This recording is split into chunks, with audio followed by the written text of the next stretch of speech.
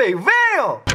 Tá começando mais um vídeo aqui na página pra vocês. Vocês já pararam pra pensar como seriam as coisas se Deus fosse manezinho? Imagina um Deus catarinense. Imagina Deus falando: Ô guri, tu pega essa bucica e tu tira ela daqui, essa fedorenta. Ô bucica fedorenta. Como assim Deus falando bucica? Se Deus fosse manezinho, ele ia curar os ceguinhos da Felipe Schmidt. Imagina Deus manezinho multiplicando as tainhas. Que se multipliquem as tainhas!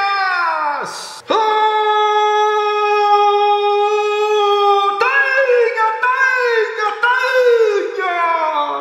Agora imagina Deus manezinho cantando das aranhas. Que foi que me deram pra levar? Pra dona Janaína que é mar Dentes de osso, laços de fita Pra dona Janaína que é moça bonita O que Floripa? Que é moça bonita Um abraço pra todas as anjinhas e todos os anjinhos De Floripa, manezinhos Beijo! Já pensou Deus manezinho mordendo uma garrafinha de água alucinado no terraza?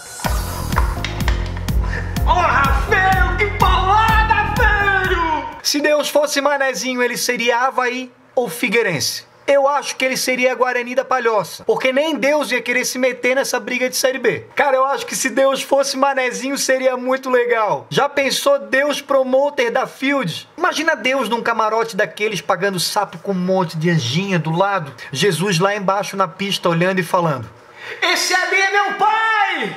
Esse ali é meu pai! E a raça do lado de Jesus berrando junto: É meu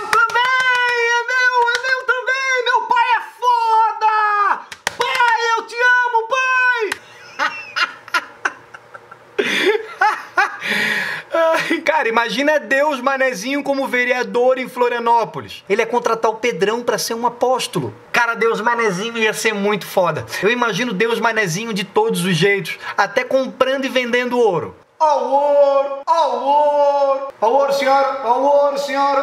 Compro ouro, vendo ouro, pago bem no ouro. Agora tu imagina Deus manezinho apresentando o jornal que o Hélio Costa apresenta e como ele apresenta. Boa tarde, gente! Boa tarde!